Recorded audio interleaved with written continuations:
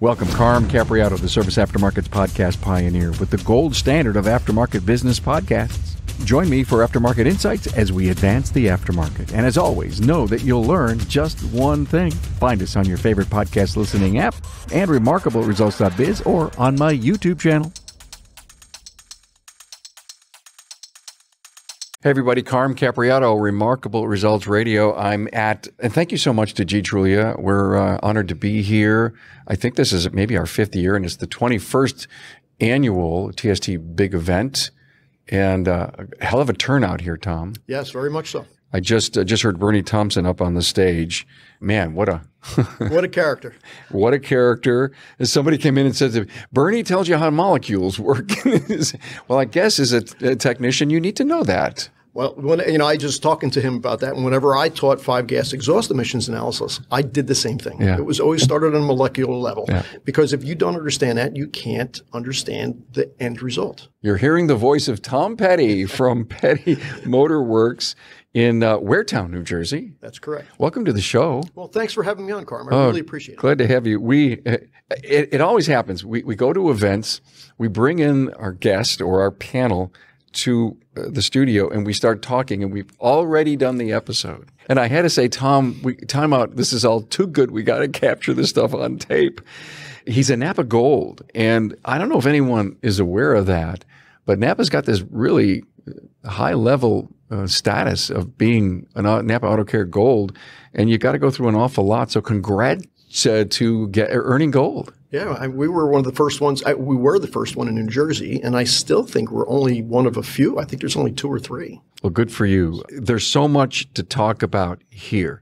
I, I but I love to, to kind of set up the fact that you worked as a technician in a Napa Auto Care. So take us back a few years and eh, because your progression is so neat, because wait till everyone hears that he left the Napa Auto Care independent to go to work for a dealership. I, I got to hear, it understand full that. circle. Yeah. yeah.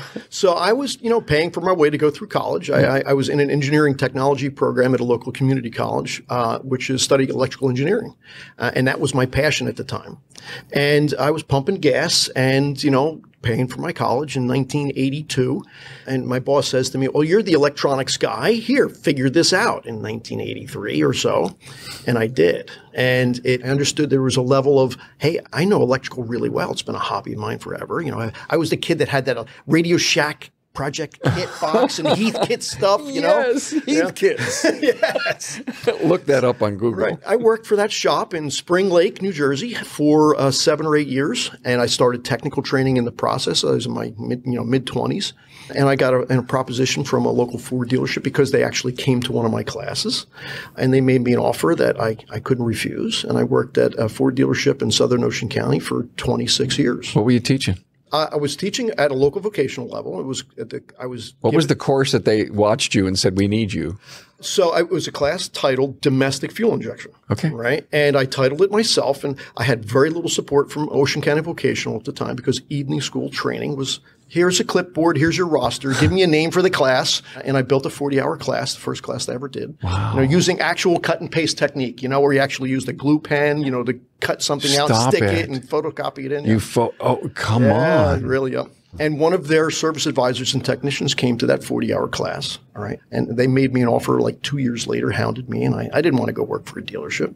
And I did. And, and it was really a good place to work. You know, I worked there for a very long time. A long time. Yeah. When I was 52 years old, my son came to me and said, I would like to do this, Dad. And how old was he at the time? He was like 14. I, I guess it was a little bit earlier than that. Okay. You know? but, but, he was a, he was a very young man. Yes. You still were at 52. According to today's records, 52 is the new 40, right? Yeah. Okay. He came to you as a very young man and said, I'd love to do this. But what was this? What, what did he mean by he this? He wanted to be a mechanic. Right. Okay. And I said, okay, well, listen, I've been around the block at this point in time. I said, if we're going to do this, we're going to do it right. We're going to have a family business. All right. So we started working out of our house, you know, until we built enough customers with neighbors and friends and family to eventually get strong enough to where we could find a shop to move into. And that's exactly what we did. And eight years ago, this May, all right, we moved into that shop. And he's now 27. So I guess it's we started probably a little bit before then out of our house. And being a technical trainer, I, I had my own training business as well. I did a lot of sublet work for shops that struggled with some of the more advanced diagnostic stuff. You know, I did that through my entire time. You know, uh, you were you were a mobile diag and didn't know it. Yes, I was. right. I know. so I did technical training at night. I worked at the dealership all day, and yeah. I helped other shops that would come to my technical training with difficult to fix problems. Wow, you had zero work life balance. I didn't. I have five kids. I have three three boys and two girls. God bless you. My sons got into scouting, Boy Scouts. All right. Right. And I stepped back from my technical training because I didn't want to miss my kids growing up. And well, I became a Boy you. Scout leader. I've been a Boy Scout leader for 25 years. Oh man! One of my kids made it Eagle Scout. So, and I stepped away from technical training to be more family oriented because it was just I was gone nonstop. Okay, how do we keep our technicians engaged? Yeah, like, like when you approached me to, to talk about this, you talked about how do you set the culture for a shop. Yeah. Let me back up a little bit. When I was at the dealership, I, I identified that I was somebody who was passionate about training to begin with because I always had a thirst for knowledge. But I was frustrated because my dealership, they had close to 30 technicians at one time. And most of those people didn't want to learn, only a handful. I keep hearing that. I know. It's it was very frustrating. Is it still is it still common today? Yes. Because they say, oh, the dealer trained technician, the dealer trained technician. And someone was telling me the other day, just the other day, last week, they don't want to go to training. They don't want to go to training. They're forced to go to training to meet warranty standards for the dealerships. Right. In other words, they have to meet minimal warranties checklists, you know, so to speak. I was very frustrated. There was only, uh, you know, we were a very, you know, skilled dealership. You know, don't get me wrong. Most dealerships have a two, one or two guys that are their go-to guys. You know, we probably had five or six guys that were highly skilled and engaged in training and wanted to learn stuff. But the balance, they just kind of like wanted to, you know, replace parts and do things like that. And I think that you know, ratio is still consistent today because I only left the dealership about 10 years ago. So most of the dealership guys, they go to training when they're forced to, all right, which just baffles me. It baffles me.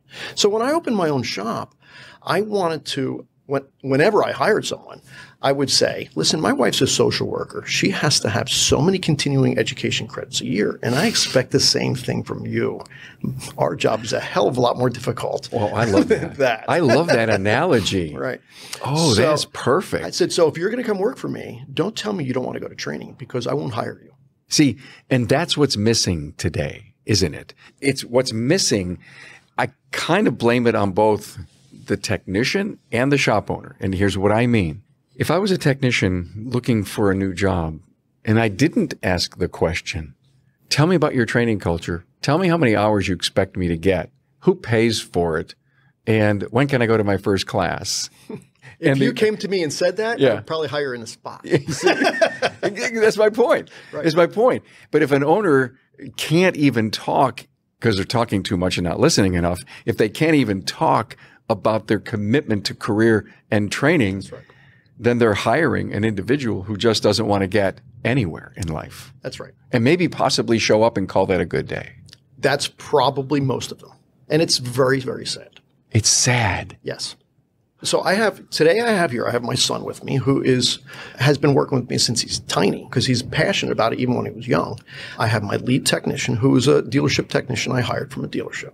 My what was an apprentice but he's no longer an apprentice because he's been with me for 4 years and he is now a, a C plus to B technician. So okay. he, I've developed him over the time. And I have two apprentice technicians. You know, and they're both still in high school. They graduate just this June. God bless you for bringing up our youth we're not doing enough of this. Even if you want to call a high school person an intern. Right. Oh, by the way, I got this wild thought. Someone picked up the phone the other day. All it happens all the time, Tom. I got an idea for an episode, Carm. Right. Got an idea. And this person said, Carm, why don't we have interns do DVIs for us? Every one of my apprentices learned. That's the first thing they learn. And I said, that's really brilliant, but do they really know what they're looking for? Was my question. So the way I handle that is we have obviously DVIs is the best way because it's prompting you to look for certain things. But obviously a skilled eye is more valuable to see things, right?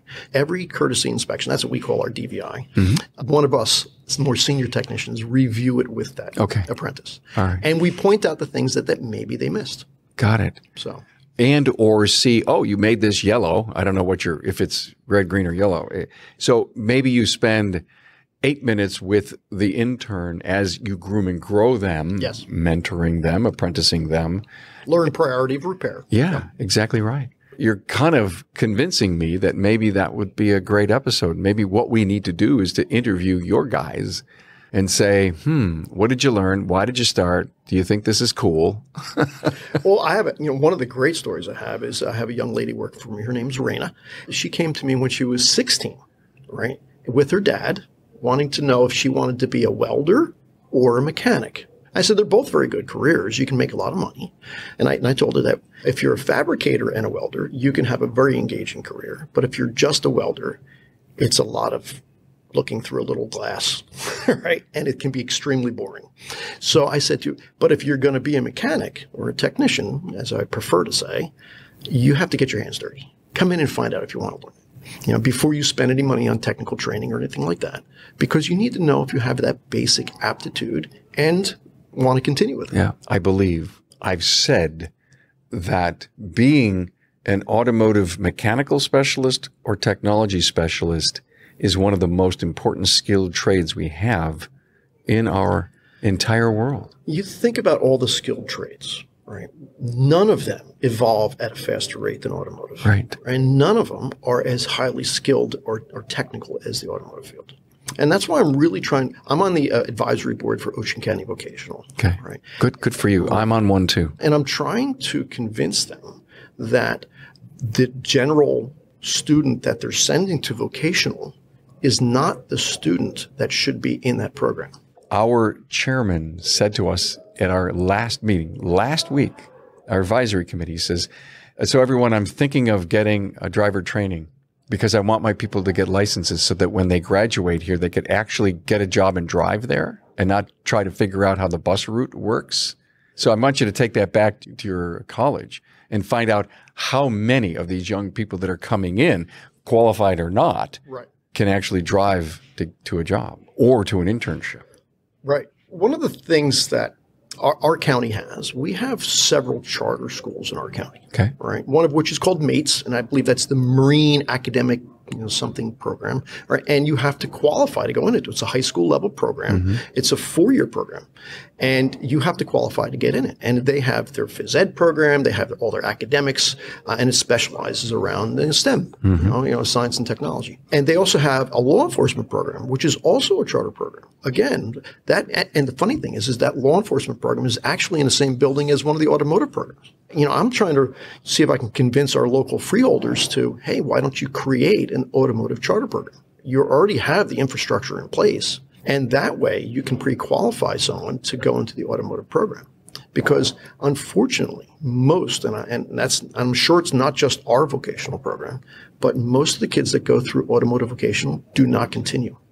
It's probably less than 10%, if less than that. We're hearing some bad stats coming out of our grads. Yes. Bad stats. In fact, the, some of the stats you probably know this, confirm or deny, that when they ultimately leave a dealership or leave even an independent, they don't stay in the industry That's correct. because we have disenchanted them. Yes, exactly right. And but the the educational program is not fully to blame for that, right? oh no, a hundred percent agree. Where, where they go next should shape the rest of their career. Correct. Because, you know, like my shop, we focus on training and we focus on development. Even if it means that apprentice moves on. Let's say he needs to move up uh, to a different pay scale because he deserves it. Well, I'm going to take the position of, let me see if I can find you a position. I know a lot of people. And then I'll bring in the next apprentice. Yeah. All right. Because at, uh, and I I don't want to pick on dealerships because they're not all this way. I don't want to create a stereotype. But unfortunately, kids come out of technical programs like UTI or Pennco Tech or whatever it happens to be or local vocational levels. They go into a dealership and what happens? The dealership just sees that as cheap labor. Yes, thank you for saying that because the question that has been cycling in our industry is what is a starting pay for an individual? Forget about college and debt and all that stuff, but what's the starting pay for a It's mechanical like minimum wage. Yeah, and uh, what what is minimum today? California now says it's what crazy money. Now I start my apprentices my apprentices at minimum wage. Okay, right? But I It's a regularly structured pay increase from there. Exactly. And they're required to learn. Yeah. So loo- looking at it from a business owner standpoint, and you know, I have a coaching service, ATI. I'm sure you're familiar Yeah, with. it, sure, right? A- And we look for a 60% labor margin. So for any listeners that's not familiar with that, that is you take your technical staff's wage, add any loaded benefit package and taxes and all the stuff to it, right? And you need, let's say it's $10,000 a week. You need to bill out $25,000 a week in labor to cover that $10,000 a week. Exactly. Two and a half times. That's a 60% margin. Yeah. But dealers want a 70% or more. So what that means is how do you get a higher labor margin? Mm-hmm. Pay less, charge more, right? So they're not allowing an opportunity for advancement. In a dealership environment, you should be taking that apprentice and marrying him to one of your high skilled guys. Yeah. All right. And investing in that person's development It's too competitive. they're focused on the labor margin as opposed to the development of the staff that they're going to need to perpetuate their business. Yeah. If you had a chance to speak at your career fair, which you recently had, and ours at our college is next week, in fact, what would you tell them that you should think about for a starting wage? Forget minimum wage, forget apprentices, forget internships. You're out of a two-year school. Here's what you here's what you should look for. So coming out of a two-year school, Yeah. in our area, I would say it at least be the high teens. Okay. The high teens. Yes. Right. you know, and depending on the structure. And it, like I, one one of the things I did at the dealership, what I was a shop steward as well because we were a union shop, and I was very frustrated as how they would get young technicians and hold them in a pay rate, mm-hmm. right? So in other words, yes, they're going to label them apprentice, and at the time when I left the dealership, it was eleven dollars an hour. Can you imagine? Right. So that's about 10 years ago. And they would hold him at that rate until the kid either complained to the point to where he got some raise or he wet, he left, he quit, right? Or moved on. And like you said, he many times they would leave the field altogether. Right. And that's what's killing us. All right. I put into the, the last contract that I did, I, I guess that was around 2016, right? An appendix, right? About structured raises every six months, 50 cents. And I wrote this appendix and it, and it, you know, cleared my union representative. And, and I said, and, you know, I put in there, and if the person doesn't deserve that raise, there needs to be a reason why he doesn't deserve it. And if it means he's not right for the position, you got to tell him maybe it's time to move on to pick a different vocation. But to suppress his wage growth is it wrong. And you do that progression until he reaches, you know, your uh, agreed upon structural, you know, wage, you know, ABC stuff. Hey, it's no secret. We're facing a technician shortage, and Napa Auto Care has a solution with the Napa Auto Care Apprentice Program. The program was pioneered by one of our own. Pete McNeil and Master Technician Jake Sorensen from McNeil's Auto Care in Sandy, Utah, realized that the problem of not having technicians available for hire was not going to solve itself and decided to take action and look at a different audience of individuals available for hire. A focus was put on younger individuals with the right passion, desire, and attitude to work in the automotive repair industry. Jake and Pete sought after these individuals and developed a technician apprentice program to give them the training needed to become a successful technician in today's world. The Napa Auto Care Apprentice Program includes a comprehensive nine stage curriculum that includes a variety of types of training, and they are classroom training videos exclusive to the apprentice program. Now, these videos provide in depth training from a successful master technician. Also, Autotech classes with instructor led courses offered through Napa Autotech and Autotech e learning. This web based e learning is designed to target specific training topics. And finally, hands on learning. The apprentice will apply the skills gained from the classroom training videos, Autotech instructor led training, and Autotech e learnings in the shop with the guidance of a mentor. The apprentice program curriculum is competency based, meaning an apprentice can move through each stage at a pace that best suits them. Most apprentices complete the program within two years. Upon completion, apprentices will have earned ASE G1, A4, A5, and AC certifications, adding industry validation to the skills an apprentice acquires. Look, having an apprentice in your shop will ultimately benefit your bottom line as they advance through the program. And in most cases, as the apprentice develops their skill set producing billable hours, you'll begin to see a growth in your gross profit by stage five. One of the largest barriers to entry for individuals looking to enter the automotive repair industry is the cost of tools. Now, keep your apprentice motivated with an apprentice toolkit. Now, Napa Auto Care has worked with our supplying partners to offer an exclusive comprehensive tool set, including a four drawer tool cart for all registered apprentices. Hey, to learn more, members can visit member.napaautocare.com. Are we hurting our future technology specialists, mechanical specialists to hire when we go out as an industry and say, oh, you can earn 100K? We're saying that loosely, it seems to me, without qualification. That's correct. It takes time to get to a wage like that. And yes, you can earn 100K. My, you know, my lead technician's close to that point at this point. Yes, you can, but it takes time and experience. Right. Right. And, you know, what someone's worth is based on what they can produce for a company, obviously. But you have to have your company built right to be able to support. No kidding. I'm an owner and says there's no I don't I don't make that money. Why would I want to even think of paying some Wait a minute. I'm taking home 80. I can I, in order to set my ego up in my life and so that I can put my head on the pillow every night, I will never pay anybody more than 60,000 because I'm taking home 80. And, and I would love to sit down with that individual and say, let me show you on a piece of paper how wrong that is. that means you're not running your business right. I know, I know. And it's an attitude that no one has been able to overcome because they haven't joined a coaching group or a mentoring group That's or a correct. 20 group because they are unwilling to share their secret sauce because their secret sauce is just failure. So even before I had a business, and I was part of ATI, or I, I, was at a technical training business. So I trained for Napa, I trained for parts stores, tool companies, I trained for Snap on for a while. I would have, you know, uh, shop owners come up to me. I can't find anyone, right? And I can't tell you how many times I heard that. I said, that means you're not buying the talent you need. Well, I can't afford to pay them. Well, then you're not running your business right.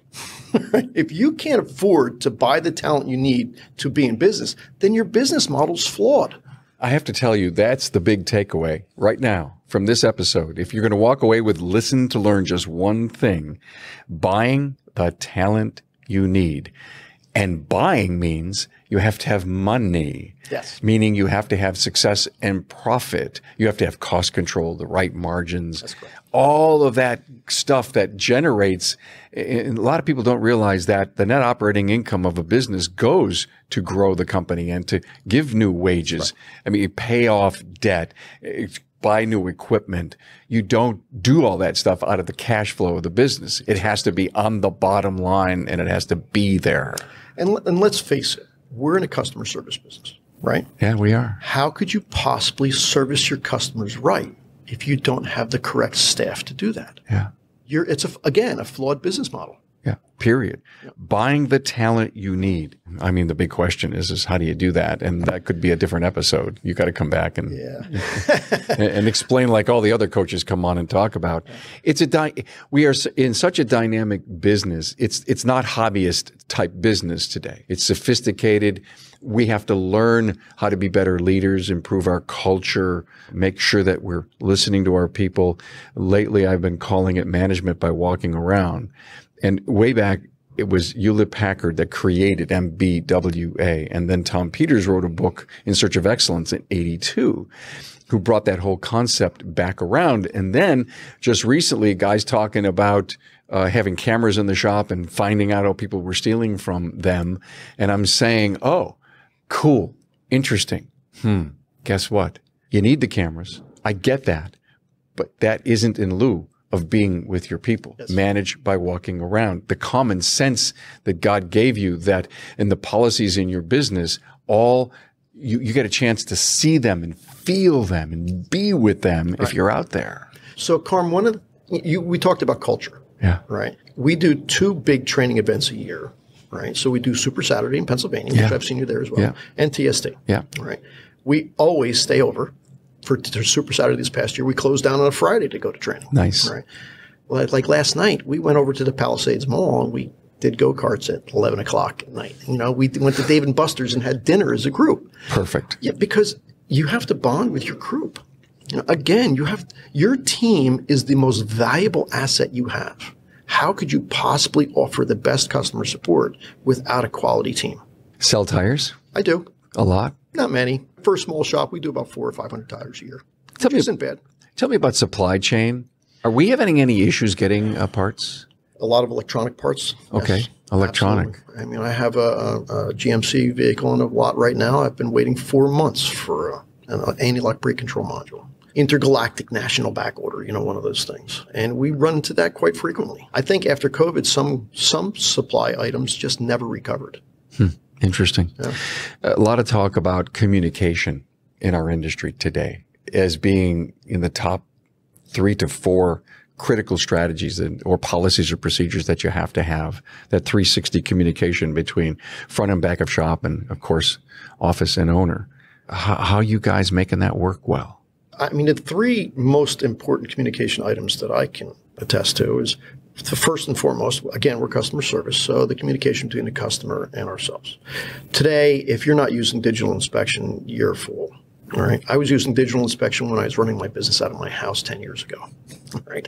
And can you imagine that? I had tablets. You were a house that, guy, huh? oh, all right. You know, that sometimes when you got a big family, you got to figure out how to make things work. Five kids. Wow. Yeah. Okay. I get it. Yep. If you're not communicating through a digital inspection pro- platform, you're just missing the boat.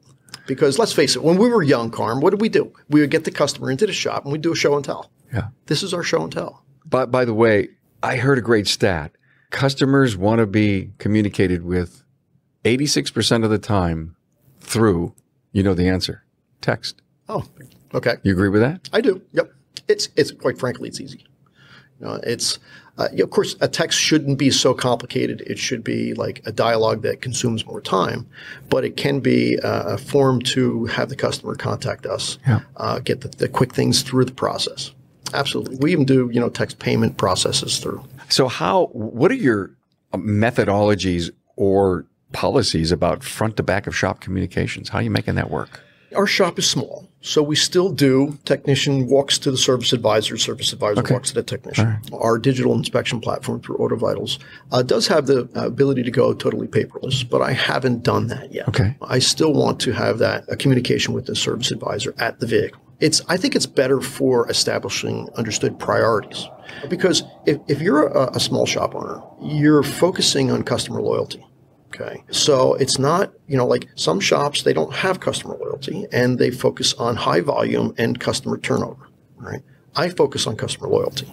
So when a car needs, let's say the brakes are three millimeters to four millimeters thick, you know, which is the time when you're starting to tell a customer, you're coming up on brakes. Where some shops, they don't know if that customer is going to come back. They might sell that brake job today. Our shop is going to advise the customer that, hey, we're going to check your brakes again next visit. Yeah. Right. So that's now we're going to make that a cautionary item. So the communication with that customer is to establish priority. And I feel that when a service advisor visits the car and reviews that you know list of items with the technician, it's better for him to communicate the priorities of the repairs. So repairs and maintenance items. What's your feel, Tom, about recommending to a new customer that you're doing the courtesy inspection to that has a yellow on brakes, never been there before? You have confident you can bring them back? Sometimes. I mean, I have a very high loyalty business. I mean, you know, when other shops are struggling with car count, we're, car car count is normally pretty stable. Okay. Because we do honestly tell customers what they really need. Let's say that new customer comes in. We have to dialogue with that customer to let them know that brakes are subjective, right? And I use the ex- example of if this was my son's, my 17 year old son's car, it might go through brakes faster than the way you're driving. Mm-hmm. All right. So we'll check them again next visit. So we're not selling them brakes today, nor would we recommend it. We're telling them that this is just advisory. It means they're getting close, but it's very difficult for us to determine how much longer they're going to last because it's dependent on your driving habits. Do we tell them at the counter, listen, we do business with a ton of customers who've become loyal to us, and we look forward to you being a loyal client also. That, that's a great approach. Yes, absolutely. I would love to bring that in. Yeah, cool. There's so much, so much to talk about. Independent groups in town. You don't have a, a lot of members in the NAPA program in your area, and I get it because there are pockets of that that live in cities. But you're trying to put together an independent group. Yes.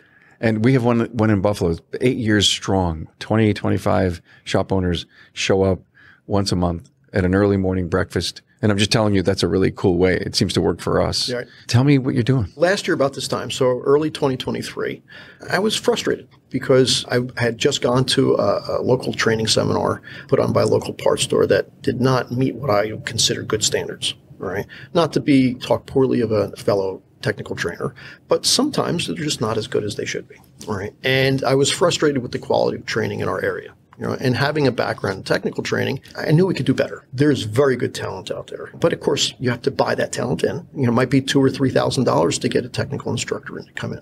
So I approached the other like-minded shops in our area, two of which are Napa stores, others aren't right? Two aren't, right? So there's five shops that kind of run our program, plus a local, uh, local Napa store is actually helping us as well, and the parts store. Good. Right. And, and, I, and I said, let's form a group. It took us a month to figure out what we should call ourselves. You know, so we call ourselves South Jersey Automotive Training Alliance, and we put on our first class. And it was a Napa sponsored class, so it didn't cost our group anything. Uh, a local restaurant diner in town has a great banquet room in the back, and they charge us 25 bucks a head for a abbreviated menu. You can get a Caesar wrap or a salad or a hamburger or something like that, mm-hmm. uh, and they give us the room for free.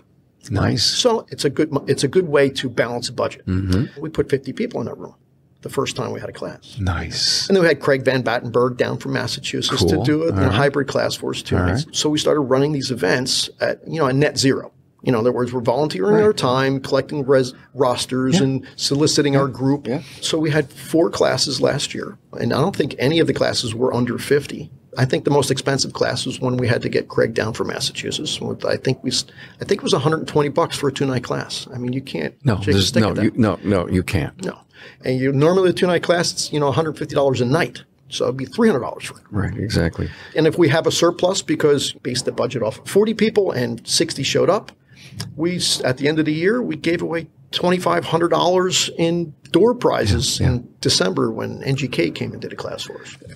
So you're listening to this. Tom has just laid out some incredible thinking points, strategic ideas for you to grow and improve, to stretch the camaraderie that you have with local people, to commit to training, to hear the story about what we're going to pay people and how we're going to train them. And he's a great guy. But even better, even greater is you're kidney donor.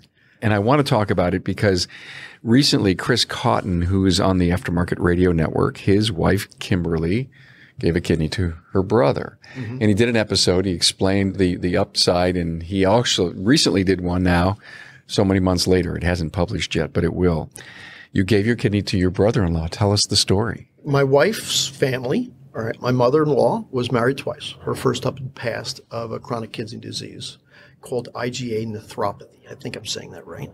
And it affected all the first three children of that of that marriage. So my wife is from the second marriage. So when my oldest brother-in-law was going into kidney failure, had already been on dialysis. And for those who don't know, dialysis is not easy on your body. It is extremely difficult and prone to complications. So even though some people go through dialysis for decades, right? We all got tested. And just coincidentally, I kind of matched better than anyone else right? So, you know, I went up to the hospital in Livingston, right? I, I believe it was the St. Barnabas. Talked to the people there, including social workers and surgeons and the people that ran the program. Uh, like, yeah, I can do this. You know, and that was in 2001. Right? So that's a long time ago. It's 20, 22 years, three yeah. years ago. Wow. And since then, all right, unfortunately, my, my family, that, that, that disease has required other kidneys right? So there is five living kidney donors in my family, which is kind of unheard of. Donors or recipients? Donors. Donors. Yes. Wow. So my wife and myself and two of my sister-in-laws, right, gave to their brothers, right? Because the disease IgA nephropathy is can damage even a donor kidney. Your wife gave up too? Yes. Wow. And my sister-in-law, having an odd blood type, felt that she she was the, the, the wife of my brother-in-law that I gave to, felt compelled to be an altruistic donor.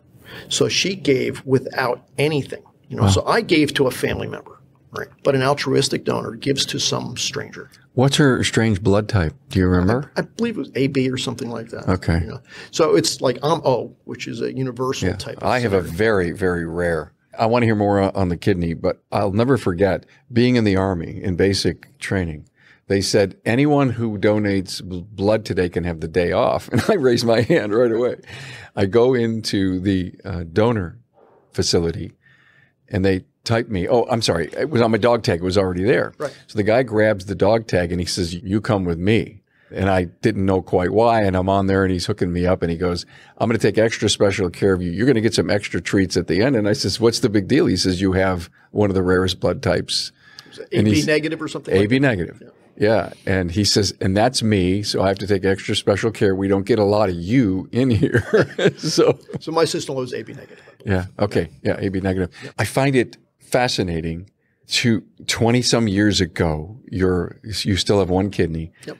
What was your life post surgery and how is it today? Do you even know or miss it? As we were sitting in the, the training class, the only thing I noticed about having one kidney is only one part of my back hurt when I really had to go to the bathroom.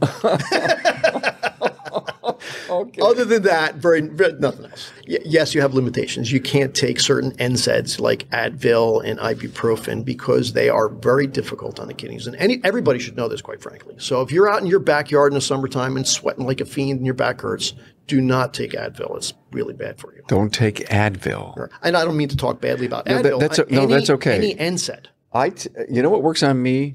Aleve. Is that like an Advil? That's or- an NSAID, yes. Oh, that is. Yes. Okay. And those types of medications, I believe it's like a one in 10,000 spontaneous kidney failure. Actually, one of our customers, he, he was in construction, had a sore back, and it was summertime, and he wasn't hydrated enough, and he was popping Advil like chiclets, and uh, he killed both of his kidneys. oh, jeez. You know, go to Tylenol. It doesn't work as well on you know joint pain, but you know it's it's better for you. Well, thank you for that. Um, so the recovery period. I mean, let, t- tell me about the six months after. So the way the doctors at St. Barnabas told me is that your kidney is one of the few organs that will adjust itself to your needs. In, in a very short period of time, it was probably six weeks or so. In that period of time, I felt lethargic and just not right, right? But within that six weeks, you know, you're back to normal. Your kidney doubles in size and it does the function of two. Really? Yeah. So listen, I'm not a doctor. That's my understanding. Yeah, you're- I- I- uh, well, And beyond that, I didn't have any other complications whatsoever. our body is such a miracle. When when I heard Chris, I, I can't remember if he talked about it in his episode or he told me on the side, or where did I learn this? That they don't take out the bad kidney; they just put the other kidney in. That's right. That's right. It goes in the lower abdomen. yeah, it goes in the lower abdomen. So my- I my found brother-in-law- fascinating. I so he had my kidney, my wife's kidney, an altruistic donor. He has five kidneys in him, three donated kidneys, and two of his original kidneys. Now his original kidneys are about the size of a walnut at this point because they've just you know shrunk up to nothing. But you know I think he has five kidneys in there. It took that many. Yes, unfortunately. Wow. I know you've turned into here all this great automotive service business acumen, but when we have a chance to tell a story like this, because life goes on in our bays, in our world. That's right. And there's nothing more important than family. To anybody, Wow. So It sure is. Thank you so much for this. I know you and I could probably talk for two or three hours and just go from rabbit hole to rabbit hole, but I got to have you come back on. This was really great. Tom Petty, man. Carm, thanks for having me. Petty Motorworks out of Waretown, New Jersey, Napa Gold. And congrats on that. That's not easy to get. No, it's not. Thank you, man. All right. Thank you.